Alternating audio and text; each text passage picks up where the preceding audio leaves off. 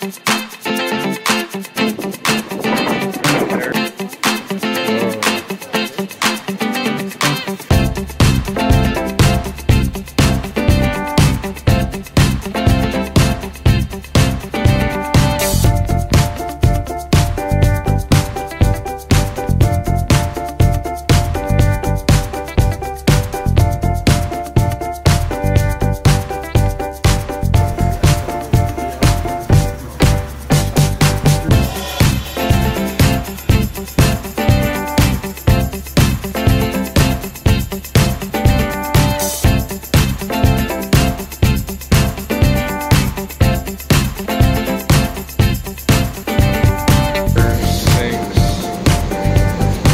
probably modernized.